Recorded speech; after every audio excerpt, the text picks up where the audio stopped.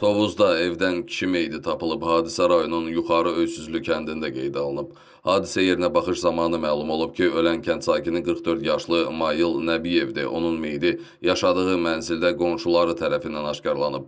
Meyidin üzərində kəsilmiş, deşilmiş xəsarət izləri də var. Həmçinin evin pəncərəsi də sınıb.